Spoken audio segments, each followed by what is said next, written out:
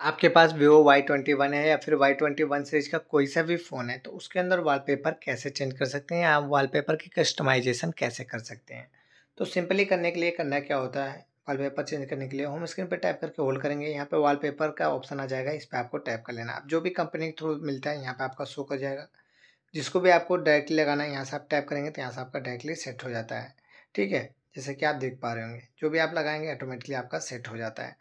बाकी यहाँ पर ये वाला ऑप्शन दिया जाता है तो इस पर आप टैप करेंगे। तो यहाँ पर आपको कुछ इस तरह से देखने को मिल जाता है। तो यहाँ पर आपको इस तरह से देख रहा होगा। बाकी यहाँ पर आपको दिख जाता है डाउनलोडेड मोर इस पर आपको जाना है। तो यहाँ पर आपको वॉलपेपर का सेक्शन दिया जाता है कि आपको कौन सा वॉलपेपर लगाना है। अब जो भी लगाना है डायरेक्टली यहाँ से आपको डाउनलोड कर लेना होता है।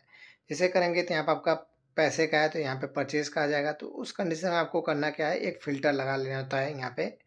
सर्च कर लेना होता है फ्री ओनली आप फ्री करेंगे। अब जो भी फ्री का वॉलपेपर रहेगा, यहाँ पर डायरेक्टली शो कर जाता है। जैसे कि पर आपको दिख रहा होगा फ्री फ्री फ्री तो जो भी फ्री होगा डायरेक्टली आप उसको डाउनलोड करना चाहेंगे तो डायरेक्टली आप कर लेंगे। जैसे कि ये वाला फ्री है तो मैंने इसको कर लिया। डाउनलोड का ऑप्शन आएगा। आपको डाउनलोड कर लेना होता है। डाउनलोड करेंगे तो यहाँ पर आपको अप्लाई का ऑप्शन आएगा। तो जैसे अप्लाई करेंगे तो यहाँ पर आपको कुछ इस तरह से आ जाता है। तो यहाँ पर आपको दिख जाता है apply to home screen sorry lock screen ये होम स्क्रीन के लिए है और ये दोनों के लिए होता है। बाकी एक क्रॉप वॉलपेपर होता है तो इस पर जब टाइप करेंगे तो यहाँ आपका क्रॉप शो करता है। बाकी इस पर करते हैं तो ये स्लाइडिंग के लिए होता है कि जब भी आप स्लाइड करते हो तो ऑटोमेटिकली आपका वॉलपेपर भी स्लाइड करता है। तो स्लाइडिंग वॉलपेपर लगाने के लिए इस पर आप टैप करके ऐसे कर लेंगे। अब बैक करेंगे तो यहाँ पे जब भी आप स्लाइड करोगे तो आपका वॉलपेपर भी मूव होता जाएगा, जैसे कि आप देख पा रहे होंगे। बाकी उसी में जाएँगे, वापस से इस पर टैप करेंगे। इस पर टैप करके वापस से जाएँगे। अगर मान चलो आपको स्लाइड वाला नहीं लगाना तो आप बोथ पे कर देंगे तो ऑटोमेटिकली आपका सेट हो जाता है। आप बोथ पे कर दिया, आप बैक करेंगे वापस से। अब बैक बैक करने के बाद आप देख पा रहे होंगे, यहाँ पर आपका कोई भी वॉलपेपर मूव नहीं हो रहा। बाकी रही बात अगर आपको अपना लोकल वॉलपेपर लगाना है, यानी कि जो भी आपने फ़ोटो क्लिक कर रखी है या फिर आपने जो भी डाउनलोड कर रखी है, उसको लगाना है तो वापस से जाएँगे इसी पे, इस पर टैप करेंगे।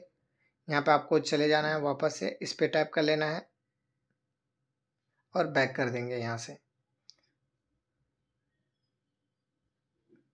एक बार और बैक करेंगे। तो यहाँ पे आपको दिख जाता है लोकल वॉलपेपर या लोकल इमेज इस पर आप जाएँगे, जो भी आपने कर रखा होगा यहाँ पे आपका शो कर जाएगा या फिर आपका यहाँ पे भी शो कर जाता है, जो भी आपने वॉलपेपर या फ़ोटो डाउनलोड कर रखी होगी।